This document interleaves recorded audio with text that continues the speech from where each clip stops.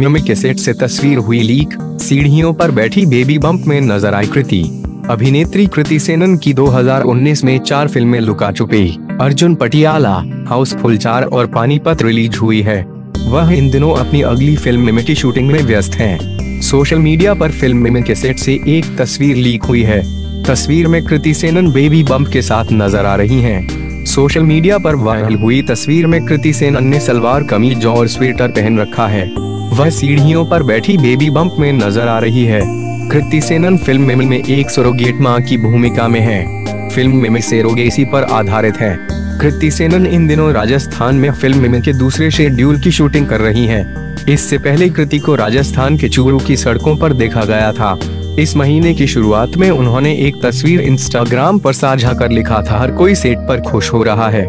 मिम्मी का दूसरा schedule film में कृति सेनन और पंकज त्रिपाठी नज़र आएँगे। फ़िल्म को दिनेश विजन प्रोड्यूस कर रहे हैं।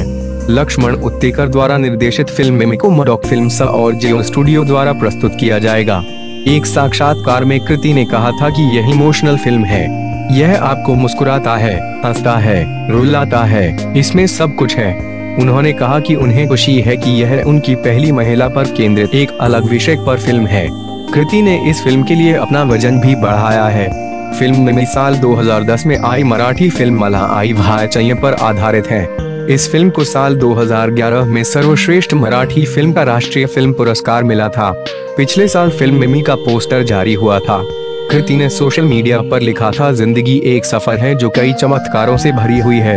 इस सफ़र के लिए तैयार हो जाइए। मिमी, यह बहुत खास होने वाली है।